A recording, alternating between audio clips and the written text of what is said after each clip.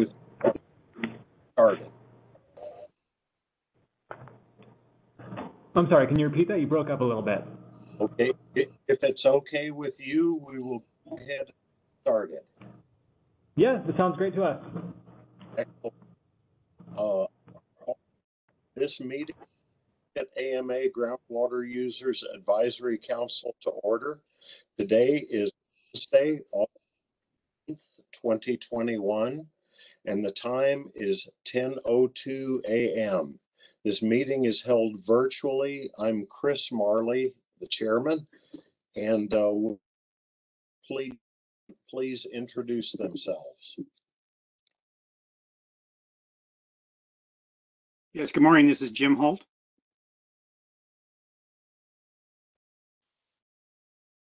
Good morning, this is Leslie Graser.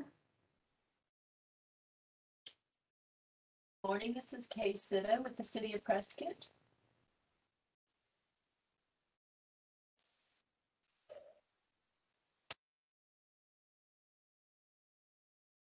Is John Munderloh there? Uh, John Munderloh, Bob Recker, we're in the same room, so it appears under my name. Ah, excellent. Well, we have a quorum. Would the ADWR staff members please introduce themselves? Thank you, Mr. Chair. My name is Kyle Miller, AMA Director. Kennedy Shepard, GUAC Coordinator. Melissa Sykes, the Water Management Assistance Program Coordinator. Jenna Norris, Governor's Water Council Coordinator. Maggie Martin, Management Plan Specialist.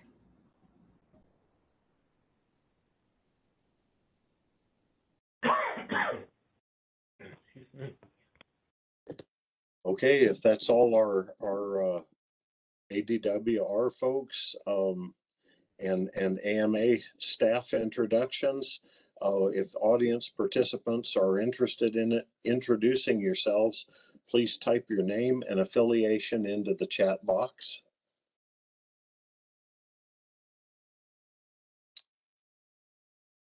And I would like to start with agenda item two, webinar logistics. Uh, Kennedy Shep. Thank you, Mr. Chair. Good morning, everyone. Um, so I just want to go over some webinar logistics before we get started. We do ask that members of the public please keep your phones muted during the meeting. This helps with any audio feedback. Uh, if you do have any questions or comments throughout any agenda item, please feel free to put those in the chat box and they will be read and addressed at the end of each presentation. Uh, but if you do wish to speak to the council, the call to public will be your time to do so. Also, this meeting is being recorded and it will be posted to our website once the recording is generated. And if you are having any technical difficulties, please feel free to contact our ADWR help desk. They're there for you and their contact information is on the screen.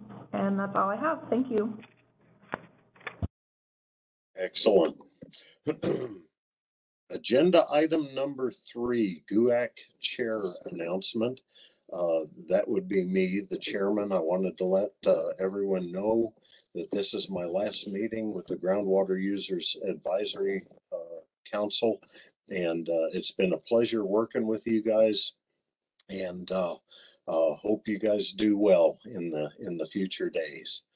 Um, the item number four, agenda item number four, Prescott AMA groundwater monitoring.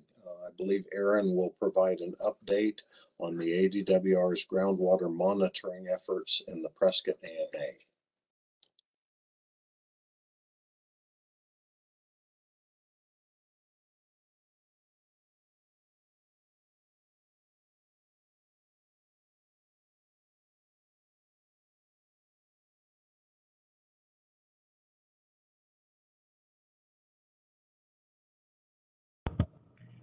Aaron, I see you're unmuted, but if you're speaking, we can't hear you.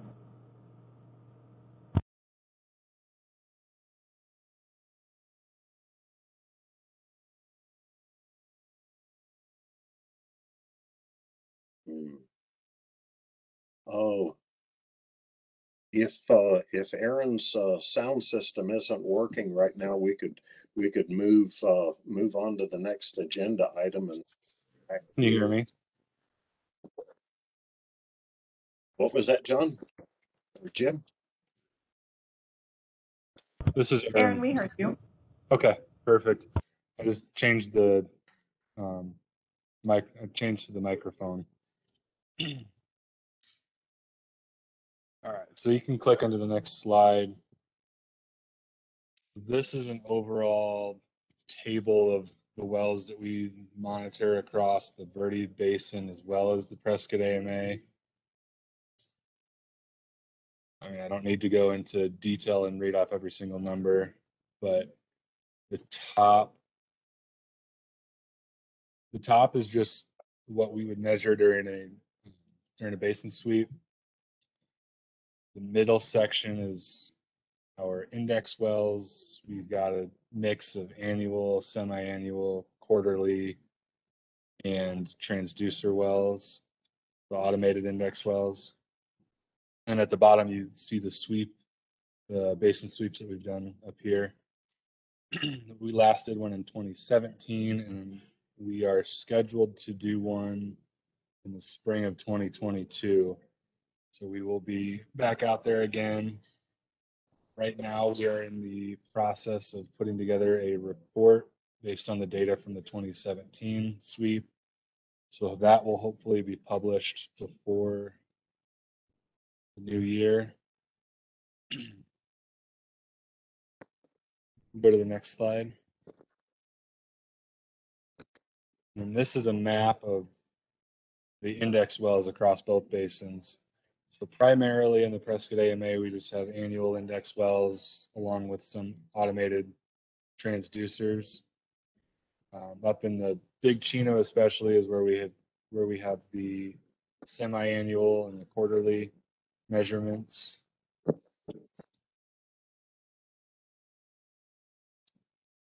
We can go to the next one. Um, the next couple slides are just examples of, uh, I think they're all transducer wells. So when the monitor wells got drilled in the Big Chino, we were, we had originally started doing them as quarterly, or yeah, quarterly manual measurements, and then we ended up going to transducers, and they were all installed about a year ago. So we were running into an issue. Some of the casings were a little bit tall, so these are not our standard box transducers. Um, our group was able to find a solution to where they can be installed in the same casing without having to install anything else. The you just screw in a bolt on the side of the casing, and everything is housed inside the well casing. And click to the next slide. This is one of our more traditional setups. We've got a white shelter with all the data logger and battery and everything. And there's a little satellite on the outside of the box that allows it to transmit so you can download all that data and see it in real time. And then in the, this is one of, um, this well with the box on it is monitor well 4F1, and in the background is monitor well 4G. And that one's got one of the newer setups. This 4F1 just had a shorter casing that allowed for the box to be put on top of it. Go to the next slide. So there's 4G with 4F1 in the background. And you'll notice on the top right picture, each of our transducer wells has a survey monument on the pad. And so we get a survey grade GPS and a survey grade elevation at each of those wells. Go to the next slide. Um, this one is one of the Paulden 5, just west of the Depot 89 gas station up there in Big Chino.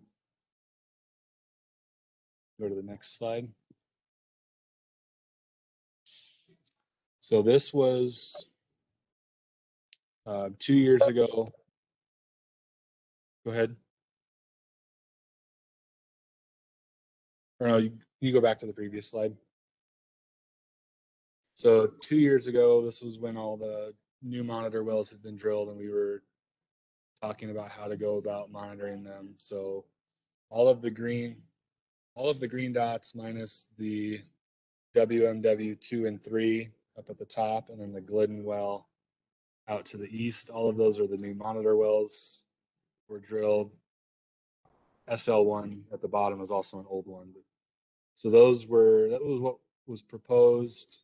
So we just started monitoring those quarterly, did the manual water levels. And then on the next slide, Uh, Mr. Chairman, before we move off of this slide, can I make a comment? Uh, yes, sir. Go, go ahead, John. Uh, the, the, the comment is that, uh, Mr. Stoley's talking about the wells that were drilled, the new wells that were drilled. I wanted to make sure, uh, that the GUAC members understood that those wells were drilled, um, by Prescott Salt River Project and Prescott Valley, uh, through a joint agreement, uh, monitoring in the Big Chino. Uh, so we paid for those and, uh, for the installation and ADWR graciously is, is monitoring those uh, under a, a, a joint cost share contract with the three parties. Okay, thank you for pointing that out, John. Thank you. all right, we can go to the next slide. So this is what we are currently monitoring. As you can see, we have added transducers into all of the monitor wells, and then the green dots are what we measure quarterly. Um, so we do those. Uh, we will be doing those either this week or next week. The green dots, and then every three months after that. We can go to the next slide. And then the next few slides are just going to be showing the um, transducers in the big Chino, hydrographs for each one. Uh, over to the left, you can see the site name as well as the code that we assign to each well and then the installation dates. I don't really need to explain the next few slides, so we can just click through them and kind of pause on each one.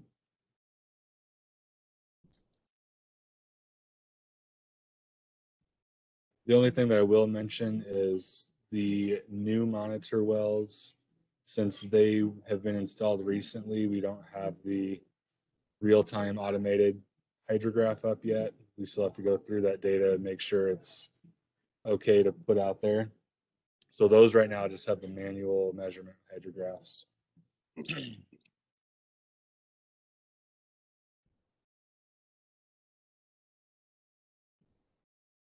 The, so 4F1, we did include that. It actually showed a spike from one of the recent rainfalls that filled that wash behind it.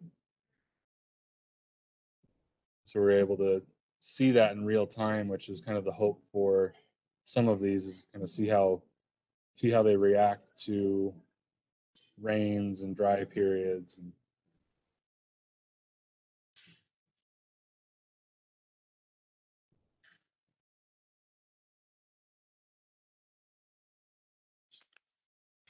And then this is a um, graphic of our stream flow measurements that we do quarterly. So we do these and the six quarterly wells at the same time generally. Um, a lot of times the river, well, you, where you see the red, the red marks in the UTM, a lot of times the river is either too shallow or it's just the water's stagnant. This week though, the river is flowing. So uh, we should be able to measure all of the sections.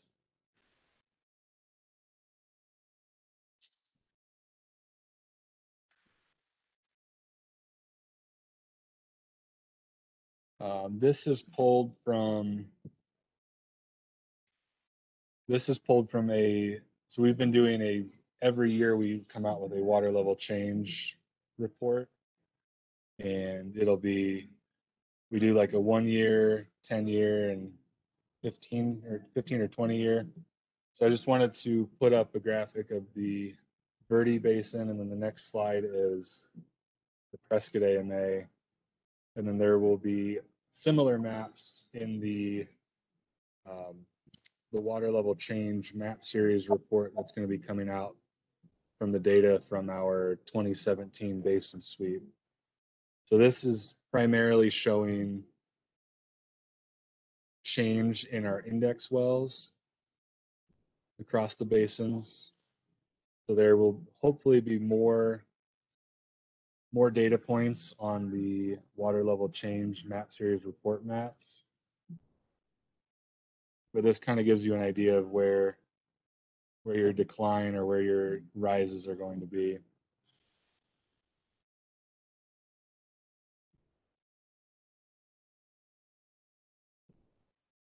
Yeah, that is the end of my presentation. Uh, If anybody has any questions, I'll be happy to answer them.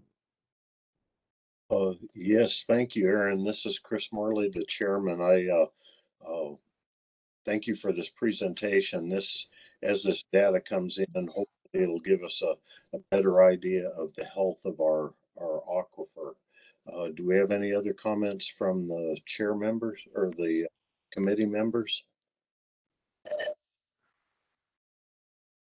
Mr. Chairman, this is John Munderloh. Yes, sir. Uh, the question is, are these water level change maps, uh, published on your website? They will be once we get the report finished. And This when was this that? One, uh, so there's a this 2019 report is not finished yet. I just I pulled some of the maps that were already done. So when, once the report is finished, it will be published. It's in the works right now. We are hoping to have it done before 2022. Thank you. So we, we could have, when we get it published, we could maybe send out an email to the members and let you guys know that it has been published. Excellent. Good question, John. Do we have anything else from the rest of the, uh, of the, uh, committee? Uh, Mr. Chairman, this is Jim Holt. Yes, sir, Jim. I was curious, Aaron, if uh, any of the GUAC members might be interested in joining your staff in the field to do the groundwater measurements or the stream flow measurements, if there might be a mechanism that would allow that to occur. Um, that is certainly possible. Um, that's, uh, that's definitely something we could try to work out. Uh, we are up here this week, but we're finishing up now and the weather's kind of been, the weather hasn't been ideal, so we are, we're finishing up probably today. So we can definitely look into the next time and try to get something set up. Okay, excellent. We'll, we'll gauge the interest and uh, let you know and go from there. Chairman Marley, I have just a quick comment too. Uh, yes, ma'am. Good morning. Uh, I just want to extend a thank you to the, to the Department of Water Resources. This uh, data that's collected is just so valuable, um, not only in the AMA, but also up in the Big Chino, and we really appreciated the partnership um, with, uh, recently, uh, as well as in the past, uh, to get those um, new monitoring wells equipped. And it's great to see the data rolling in, so we'll keep watching, and when it converts over to um, the pressure transducer data um, online, we'll be tracking along along with you. So thanks. Uh, you made it look so easy with all these slides, but we know it's a lot of work. So thanks. Yeah. Welcome. Thank you, Leslie. All right, continuing onward then to our agenda item five, groundwater withdrawal fee recommendation and uh, water management assessment assistance program. Mr. Chair, we do have a question uh, in the chat box, if uh, we can proceed with that one. Okay, yeah, I- I'm watching the, what question do you have? So it is from Leslie Hoy. On the water level change maps, have most of the wells declined? Yes. So any of them that are red are wells that have declined. The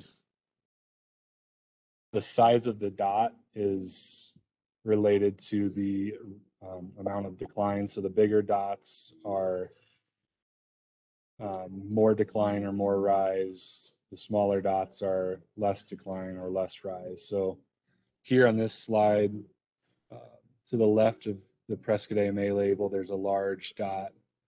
I believe that's a decline of 64 feet.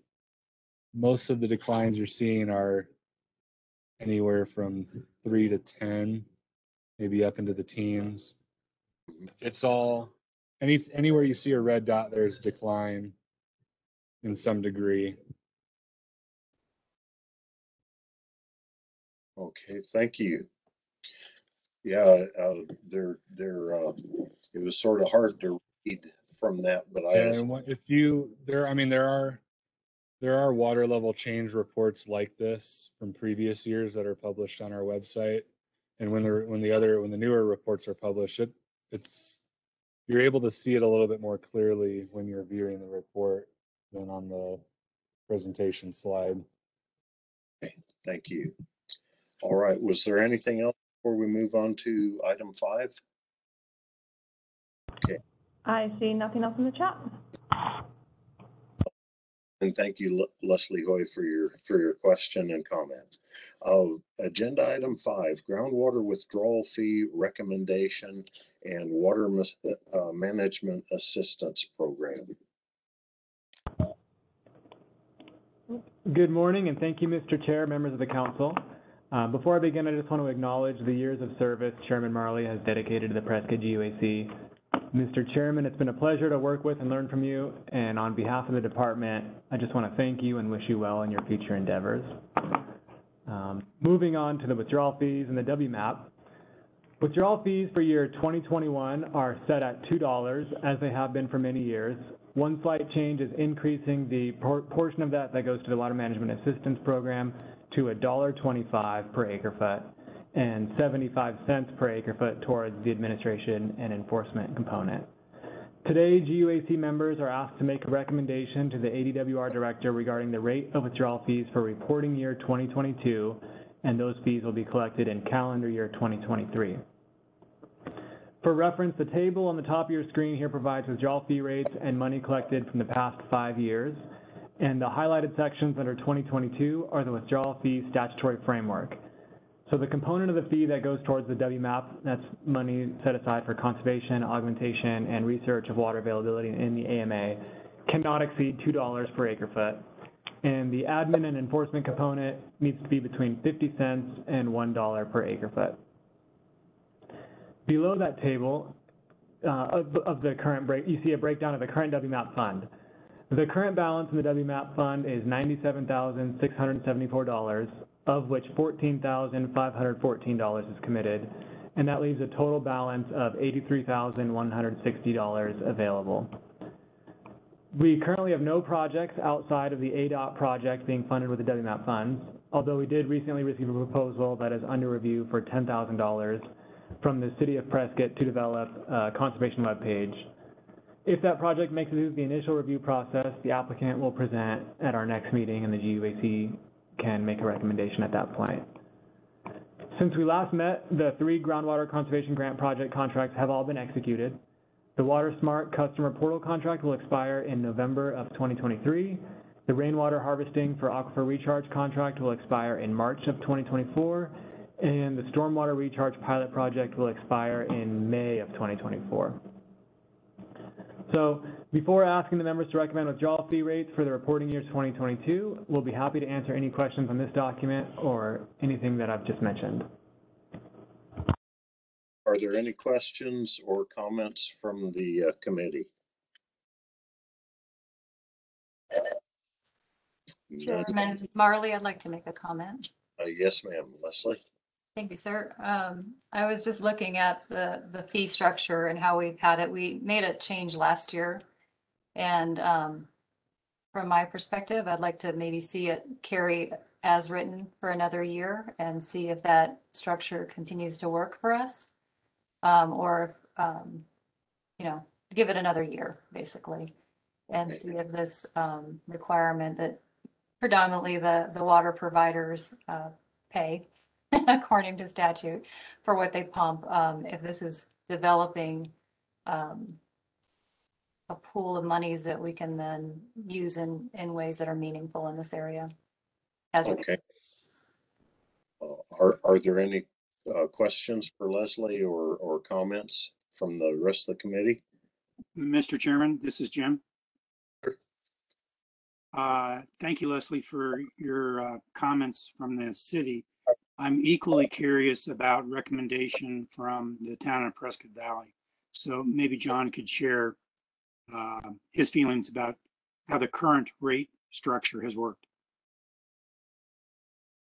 Uh, I would uh, concur and, and agree with Leslie's comments. Um, so I think that's fine. I was just about ready to second that, but I wasn't sure it was framed in the, in the form of a motion. I imagine we could have uh, uh, Leslie restated in the form of a motion, but uh, yeah, we, would that be okay with you, Leslie? Yes, sir. I'd be happy to. Um, I propose for uh, calendar year 2022 that the MMAP fee remain at a dollar twenty-five and the administration enforcement, enforcement fee remain at 75 cents for a total of a $2 fee. All right, and we have a second. I would second. We have a second. Okay. Two seconds. Any further discussion? Right. All, all in favor, say aye. Aye. Aye. Aye. All opposed? Motion carries. Excellent. Moving on to agenda item six. Uh, Kyle will provide the AMA director report. Thank you, Mr. Chair. I will take that withdrawal fee recommendation to the director and let you all know that when it's finalized. As I'm sure you all know, annual reports are due on March 31st of each year. And now that we're about four months past this date, um, I'd like to provide a quick summary of 2020 annual reports. So about 6,500 annual reports should be filed for year 2020, and we've so far received around 6,060 reports. There are 438 failure to files remaining across all the AMAs, and that accounts for about a 6.5% failure to file rate. And this number is significantly lower than this time last year when we stood at about 10.5% at the end of August. Um, last year had some unique circumstances though, so looking at years beyond that, and 6.5% failure to file is pretty much right on track for where we would be in a normal year. And we typically aim to end the year with a number below 5%. We sent failure to file letters in mid-July to owners of all missing reports, which generated an additional wave of filing, and we'll begin some final contacts with failure to files in a few weeks, which we hope will be helpful in further reducing that failure to file number and getting it below 5%. Um, the table on the left of the chart here breaks down the reports received by those filed online or as hard copy, and about 2,915 reports, or 48%, were filed online, and 3,145 reports, or the remaining 52%, were filed as hard copies. Um, this is an increase in the number of reports filed online and continues a trend towards filing online, which we try to encourage whenever possible for a variety of reasons. Um, this year, in collaboration with our IT team, we made a few adjustment, adjustments to the electronic annual reporting tool to improve functionality and performance, and so far we've heard good reviews on those. Some forms of ours are not yet available to be filed electronically, such as the municipal provider reports, irrigation district reports, and BMPs. Those forms are a little bit more complex to build electronically. However, we are trying to add more forms to, to the electronic tool each year so that we can see the number of reports filed online continue to increase into the future. Submitting those reports online is beneficial to us because the data from those reports enters into our database automatically, which reduces human error and allows our staff to devote, devote more time to quality control, planning activities, our data transparency initiatives, and other water resources efforts, instead of spending hours and hours of data entry each year. Um, we are currently transitioning from data entry to quality control checks on that reported data, and this is a long and detailed process that can take us several months, but it's really critical to our statewide use estimates, estimates which we'll have completed by November 1st, and we'll be glad to present on at a future meeting. We've also dedicated a significant amount of time to developing and publishing sector-specific web pages that we've already received really positive feedback on, and Kennedy's going to click through some of these as I speak, um, but we'll be glad to answer questions on them at the end. These pages contain information about the mandatory conservation programs, some details on each sector, and a frequently asked questions section. Our planners worked hard on these pages, and each one is really impressive, so I just want to encourage members and members of the public to take a look at these and let us know if you have any thoughts or suggestions on ways we can improve them. The planners are also working on sector-specific data dashboards that will contribute to our data sharing and transparency initiative and should be useful for anyone looking to learn more about water use in the AMAs. These dashboards should be published and finalized around the end of the year and will dovetail nicely with our fifth management plan process. Uh, we have a really strong team in place, a lot of talent going into these, and I look forward to sharing the finished products with you at a future meeting. Outside of our core AMA section, our groundwater modeling unit continues making progress on their projects, including finishing their updates to the Prescott AMA model, which we can present on at the next meeting, um, developing a new groundwater model for the Phoenix AMA, combining the East and West Salt River Valley and the Hassayampa subbasins, updating the Tucson AMA model, and participating in the Pinal Stakeholders Group activities and meetings. And our field services unit is preparing the Phoenix AMA Water Level Change Map Series report and conducting water level measurement site visits for index wells statewide, as Aaron discussed previously. And finally, our public stakeholder processes are ongoing. The Arizona Reconsultation Committee met on May 26th and continues to hold modeling and analysis work group meetings, having met on March 11th and May 13th since our last UAC meeting. And recordings of all of those meetings are available on our website. We've also made progress on our management plans activities, and Maggie will be providing a more detailed update later in the meeting. And likewise, the Governor's Water Augmentation, Innovation, and Conservation Council continues to hold committee meetings, and a summary of their activities will be provided by Jenna Norris here shortly. So that concludes the director's update.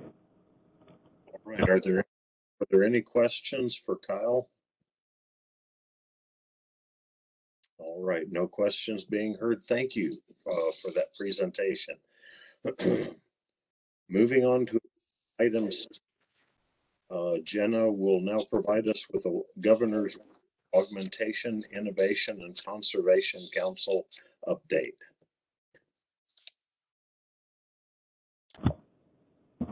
Hi, everyone. My name is Jenna Norris, and I coordinate the Governor's Water Augmentation, Innovation, and Conservation Council, which I will refer to as the Governor's Water Council from here on out. Um, thank you, Mr. Chair and council members, for having me this morning. Um, and I will be sharing a brief update with you all on the recent activities of the council and its committees. Um, I wanted to start today by showing you all the um, council webpage where you can find all previous meeting materials for both the council and its committees. Would you click on that? Yeah, thank you, Kennedy. So using, well, wait for it to load. There you go. There you go.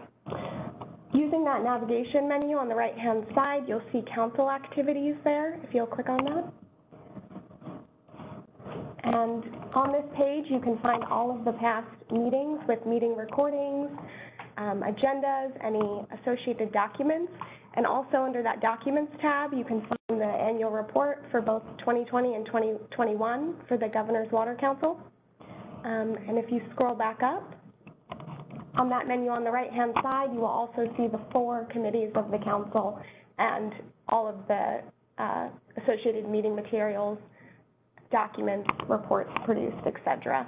So I just wanted to point that out to everybody.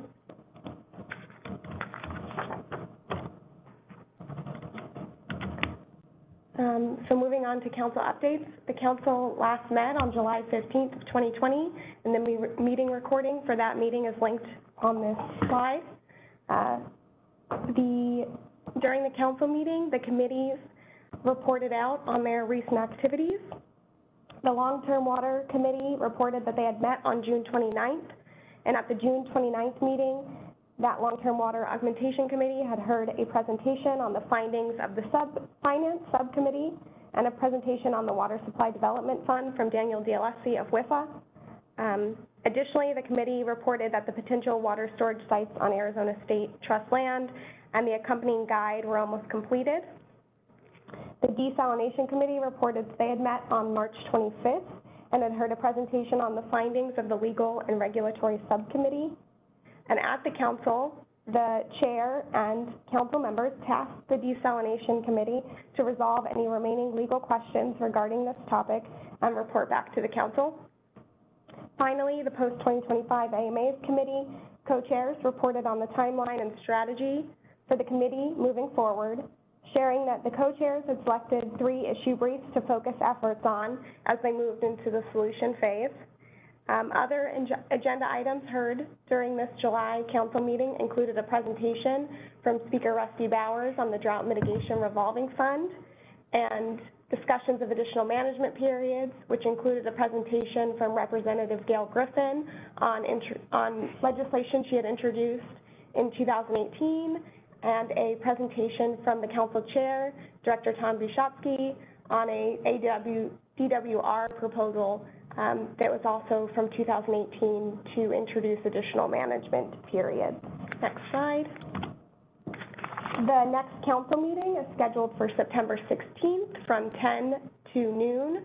Um, Again, the meeting webpage is linked on this slide, and um, login information for the WebEx can be found on our website, and I will also be sending out a reminder email. Next slide. Moving on to committee updates. The non-AMA Groundwater Committee is chaired by Representative Gail Griffin and Jamie Kelly. This committee has not met in 2021, and at their last meeting in December of 2020, the committee heard a presentation by the department's chief legal counsel, Ken Slowinski, on irrigation non-expansion areas, and a presentation by Representative Cobb on introduced legislation for establishing rural groundwater management areas. The next meeting for this committee has not been determined. Moving on to the desalination committee, this committee is chaired by Henry Day, who replaced Philip Richards earlier this year. The committee last met on March 25th, and the meeting recording is linked here. Um, during that meeting, the Legal and Regulatory Subcommittee presented a summary of their findings and discussion, and that document is also linked on this slide. The Desal committee is scheduled to next meet August 26th from 10 to noon, so that's next week on a Thursday. Next slide. Continuing with committee updates, the Long-Term Water Augmentation Committee, chaired by Wade Noble, met on August 3rd. Meeting recording linked here. At this meeting, the committee heard a presentation from ADWR Senior Research Hydrologist Keith Nelson, on which he presented on the potential for enhanced aquifer recharge uh, at a regional scale. This committee plans to continue the conversation around the potential for recharging stormwater and flood runoff in subsequent meetings. The next meeting date for this committee has not yet been determined. The storage sub-site, storage sites subcommittee of this committee met on February 26th. The committee provided, the subcommittee provided input on the potential water storage sites on state trust land report. This report um, was required by House Bill 2249, and the potential storage sites report includes 331 potential underground storage sites, and that report is set to be submitted to the required recipients by September. In addition, the subcommittee provided comments on the draft guide to underground water storage site selection, which will accompany that storage site report. And that guide is now being finalized by council staff as we work to incorporate comments. Next slide. Last, but certainly not least, you have the post-2025 AMA committee chaired by Warren Tenney and Cheryl Lombard. Cheryl Lombard replaced Timothy Tamir um, in March of this year. This committee has certainly been busy and has met twice since the last quarterly council meeting. As I mentioned earlier, the committee co-chairs have established a strategy to approach the identified issues and are focusing the committee efforts on three issue briefs out of these six, which are groundwater in the Assured Water Supply Program, unreplenished groundwater demand, and the hydrologic disconnect. The committee last met on June 22nd, in which they heard a presentation.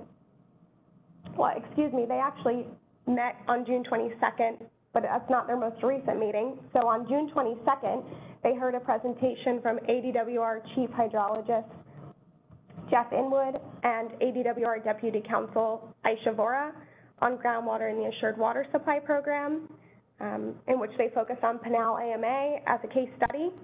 The committee then met again on August 10th and heard a presentation from myself and Natalie Mast on unreplenished groundwater demand, this time focusing on Phoenix AMA.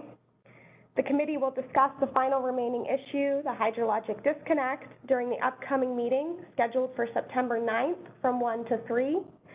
And at the next council meeting, the co-chairs plan to brief the council on the presentations they heard on these three identified issues, summarize the ensuing discussion and potential strategies raised, and then move into the solution phase in October through December when they will work to fine tune the most realistic strategies and solutions proposed. Next slide. That concludes my presentation. On this slide, you will find my contact information as well as John Riggins, uh, statewide planning manager's contact information. And um, I thank you for your attention today. And if you have any questions, I can take them now. Right. Thank you, Jen. This is uh, Chris Marley, the chairman. Uh, do we have any questions from the council for Jenna? Okay, none being heard. Thank you very much for your presentation. Was that? Oh, oh, our next item is agenda item eight. Maggie will now provide a fifth management plan update. Maggie Martin. Thank you, Chairman Marley and members of the council. My name is Maggie Martin. I'm a management plan specialist working at ADWR on the management plans team. And today I'll be providing status updates on the fifth management plans and we'll be giving a high level overview of the various conservation program proposals. Next slide. Next slide, please. Thank you. So when developing and updating the conservation programs, this is the statute that we are working under, which states that each plan for each AMA should include a continuing mandatory conservation program and that they should be designed to reduce withdrawals of groundwater. Next slide. We started the management plans work group process in 2019. We've been working since then to analyze and develop the programs for the fifth management plans. We intended to wrap up the development phase at the end of 2020. However, further discussions have been needed, so this phase has continued into 2021, but we plan to finalize the last details soon. We will publish initial drafts in early 2022 and plan to adopt all five by the end of that year so that conservation programs will become effective on January 1st, 2025. Next slide. The structure of the conservation programs in those management plans largely match across the AMAs, but we have taken time to reach out and seek feedback regarding customization from GUACs and local stakeholders. Additionally, beyond that customization, the management plan work group subgroup meetings have reconvened as we've had draft regulatory language ready and available. Next slide, please. So now I'll give a summary overview of the various conservation program proposals. Next slide. Thank you. The first is the agricultural conservation programs. The Agricultural BMP Advisory Committee was reestablished by executive order last year and through multiple meetings developed recommendations for the BMP program in the fifth management plans. Staff would like to thank the committee members and regulated community for their thoughtful comments and suggestions and commitment throughout the process. The committee recommended updates to the list of approved practices and points targets. On the list of approved BMPs, nine new BMPs and 13 changes to existing BMPs were recommended. The updates were based on changes in technology and agricultural practices, the inclusion of maintenance, and clarification of language. A substitute practice BMP was also recommended in each category, in recognition of a need for a way to add new BMPs to the approved list as technology develops, a procedure for adding new BMPs to the approved list was also included.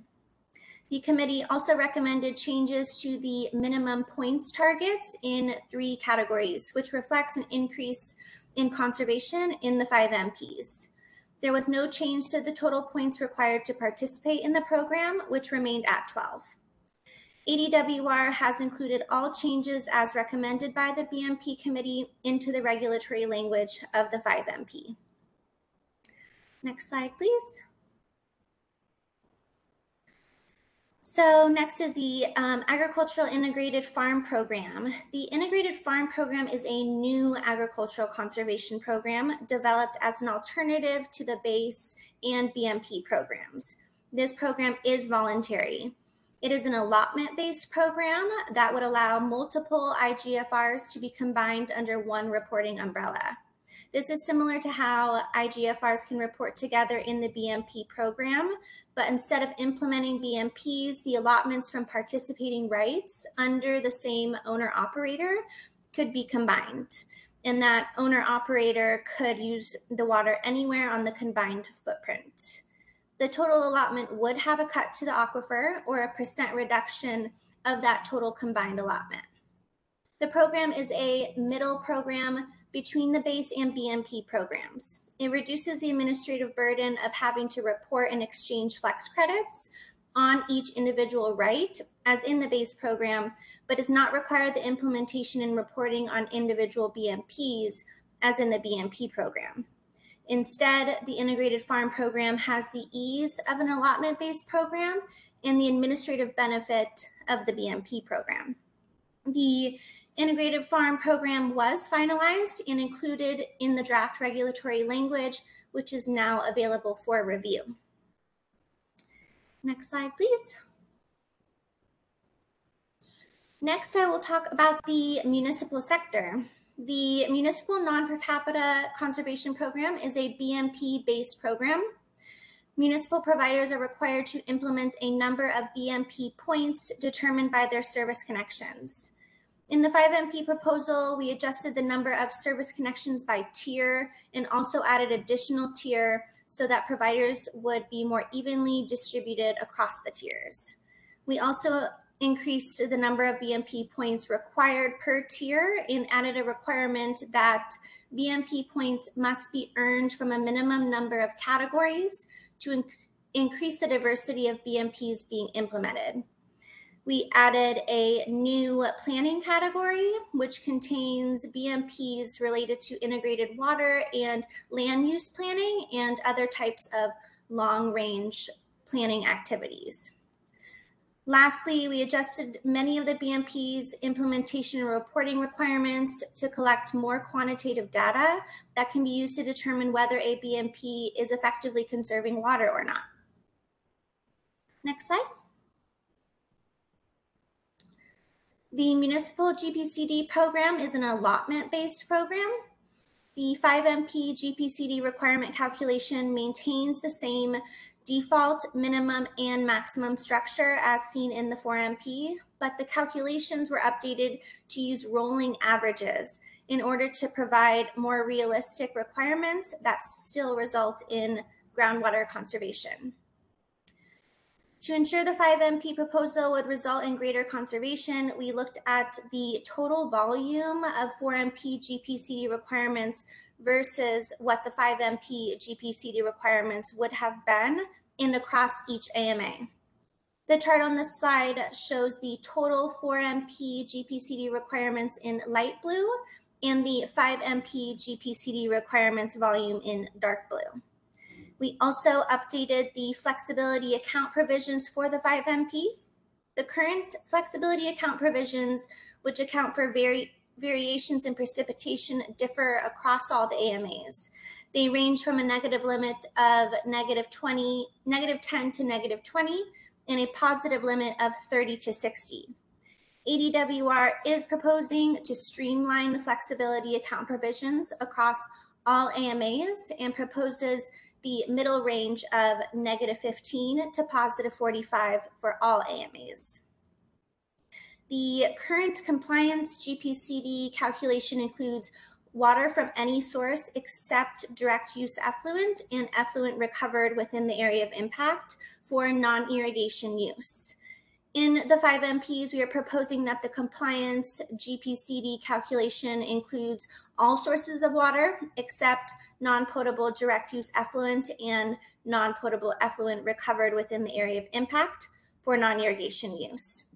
To align with the need for conservation of all water types and the value of potable water, the proposal removes the potable effluent incentive. Next slide. Now I'll get into the industrial sector. Um, the development of the Golf Conservation Program had several goals. One, to reduce withdrawals of groundwater. Two, to make it impact equitable between the different types of courses. Three, to incorporate realistic practices into the allotment method. And four, to increase simplicity and transparency. Previous Golf conservation programs were very complex and difficult to understand for both staff and the regulated community. The final golf course conservation program was presented in a TERP subgroup meeting yesterday. The final conservation program consists of an allotment method, in allotment additions, and the effluent adjustment. The allotment method consists of different acreage limits and application rates for different aspects of the golf course, such as turf, low water use acres, and surface water acres. However, the method is just a way to set the allotment, and golf courses may still use that water on their course as they see fit. Staff is accepting comments on this structure until August 31st. Next slide, please. The non-golf conservation program has had a few changes from the fourth management plan and are centered on the method used for developing the maximum annual allotment. Similar to the golf program, our goal was to include realistic practices and realistic application rates. The turf application rates were adjusted to represent the application rates in proportions of different uses of turf, such as decorative and athletic uses. The resulting application rates were very similar to those in the fourth management plan. The biggest change to the non golf program is to the low water use acres application rate. This updated number better incorporates scientific data and more closely reflects the need of low water use acres. As with the golf program, the non-golf program was adjusted for each AMA. Next slide, please. The department held a public meeting on July 14th, detailing and discussing potential proposals that would simplify the recharge and recovery programs by reducing the regulatory and administrative burden on both applicants and ADWR staff. ADWR staff is currently considering the feedback and the comments that we received from the stakeholder community on those proposals. Next slide, please. The 5MP Concepts webpage has been shown several times before, but I'll briefly say that the concepts on this page are organized by subgroup. We've included interactive dashboards, illustrations and graphics, and summaries of the corresponding work group meetings, as well as comments from the stakeholder community that we've received on the concepts and proposals. We encourage you to visit this page and check it out if you haven't done so yet. The link is available on this slide here. And next slide, please. And lastly, just a reminder of the management plan promulgation process. Like I mentioned, we will be releasing the initial drafts of all of the five MPs in early 2022. Following that publication, we'll take comments from the GUACs and regulated community on those drafts.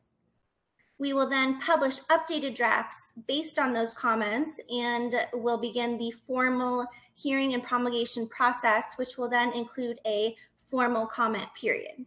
So what I want to highlight here is that there are several opportunities for comment throughout this process. Next slide. And with that, I'd like to thank you for your time and, and attention. My contact information is available on this slide here, and I'm happy to take questions from the council.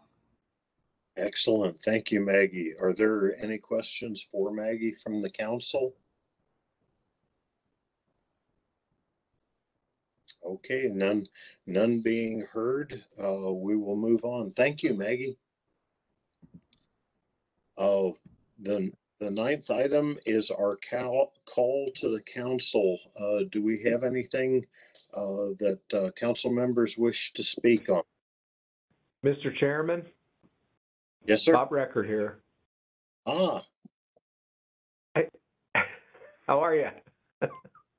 I'm doing great. I can't see your smiling face, but I know you're there. I, I am, and I am smiling. I, I think I missed uh, part of the presentation that Aaron was making about. I'm looking for kind of a status about the grants that we uh, offered last meeting. I think it was in the second slide in his in his presentation.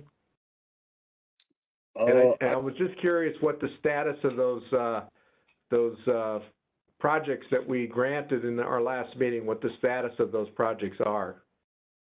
I, I You know what I'm those- talking about? Sir, I think those are in the, the, uh, slides that, that uh, Kyle Miller, uh, put. Okay, The, uh, the groundwater conservation grant projects, the, uh, uh, press water smart customer portal and the rainwater harvesting and the, yes, Storm- yes, thank you. those ones. Uh, yes, I Yeah. believe had those. Is Kyle still with us? Yeah, yeah, I'm still here. Um, so the, the contracts for all of those have been executed. Does does that mean the projects are completed? No, so they're, they are, um, in process right now and they expire in, one expires the end of Nov- of November twenty twenty-three. Another, the rainwater harvesting for Aquifer Recharge expires March of twenty twenty-four. And the stormwater recharge pilot project expires May of twenty twenty-four. Um, I have Melissa here, who's our WMAP coordinator, if you would like any, any additional details on where we're at as far as deliverables and that kind of thing. I, I'd be interested in what percentage these, these, uh, projects have been completed. Or, or what, where they are in progress.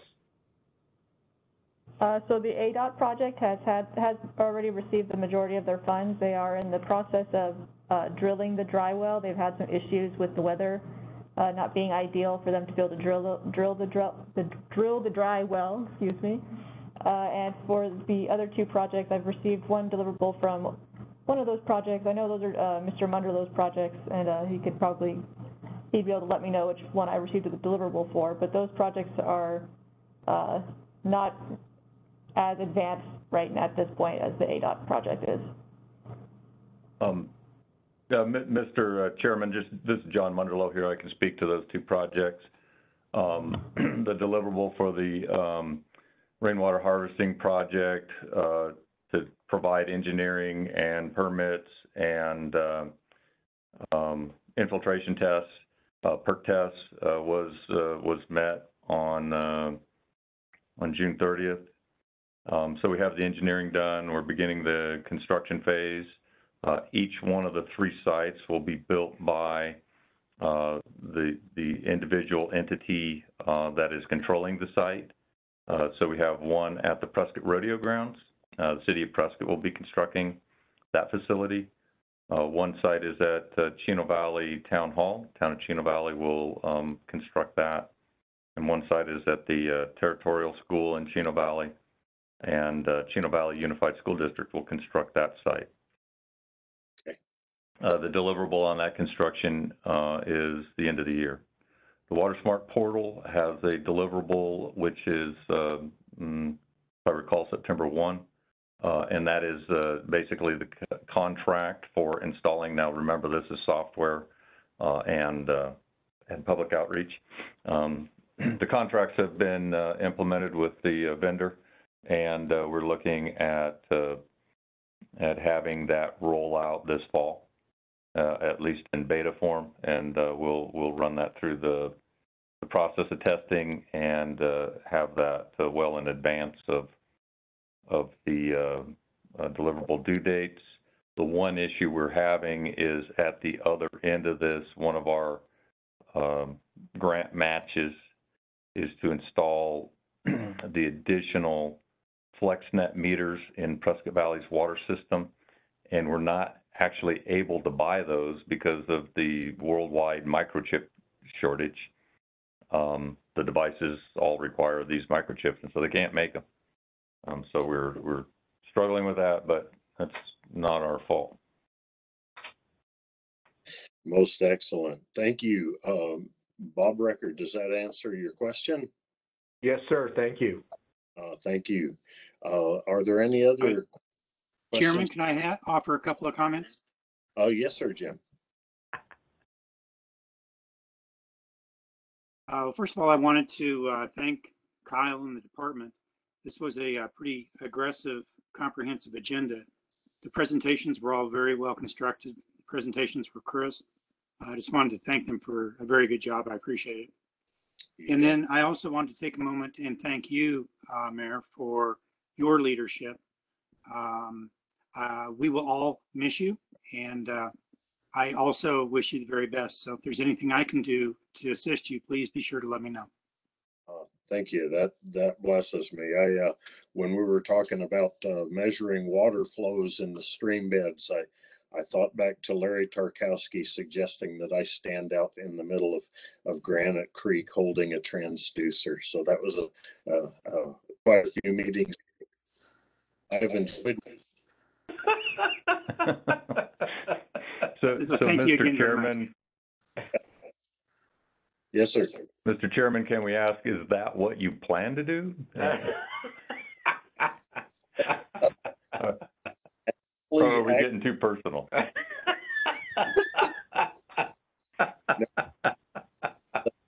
I thought it was cool that Larry suggests, no, I'm not planning that. Thank you.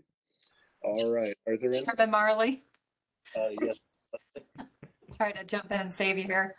Um, I just had a, a couple, I think I can piggyback actually to Jim Holt, so, um, I do appreciate, um, you know, the AMA director is giving us so much information, and even though I try to attend most of these meet, well, let me back up. I try to attend what I can. There's still so much going on right now.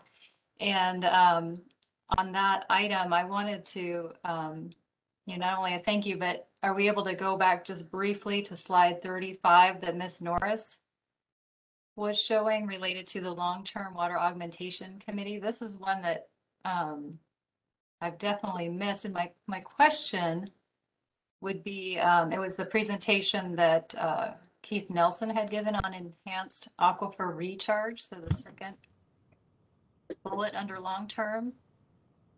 Um, obviously, I need to go listen and, and read this, but is there any information related to the Prescott AMA and enhanced aquifer recharge potential on certain state lands in that, that work? Yes, there was, um, it's, it's certainly worth going back and listening to, and that meeting and recording is linked here for easy access. And Keith did use, um, Granite Creek as an example of, uh, uh, it was really his main example for a- an area that has great potential for enhanced recharge. Um, not diverting water out of Granite Creek, but rather his presentation was really about being, uh, are there areas in the state using Granite Creek as his prime example where water that have high recharge potential and water from valley flats where maybe the hydrologic feasibility isn't quite as great could be diverted from the valley flats, or, you know, um, routed into Granite Creek where you do have much higher recharge potential and, and how that could um, off, help offset groundwater withdrawals in that area. So um, his presentation is obviously much more technical and, and detailed than that, but um, yeah, it's certainly worth listening to for the Prescott AMA. Um, Thank you for going back to that. Um, as I said, there was a lot of information, even though I feel like I'm trying to keep in step with what you're doing. You, um, ADWR is really doing a lot of work right now and it's showing, uh, in many different ways.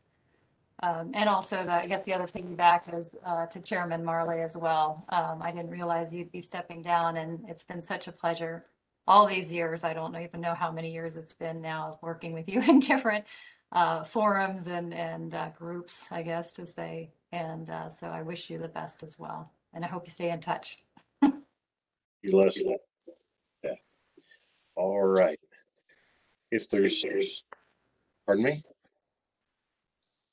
Okay, if, if there's no other uh, comments from the council, uh, we now open for call to the public. If anyone has any questions which John Munderloh can answer, uh, we will uh, gladly.